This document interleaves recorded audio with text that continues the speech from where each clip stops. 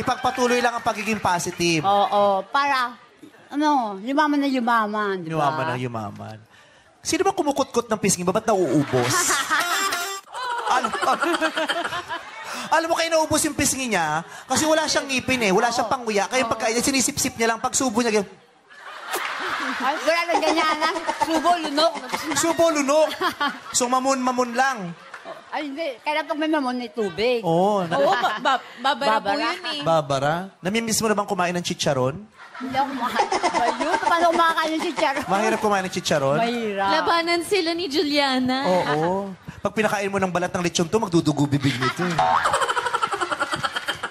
Pero sa- masaya ka. Masayang masaya. First time ka nakita ni Bella. Hug mo ng ano, si Bella. Oh.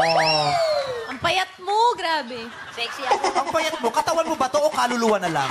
Katawa. Kapamilya, gusto mo bang mapanood ang masasayang ganap sa Miss Q&A sa It's Showtime?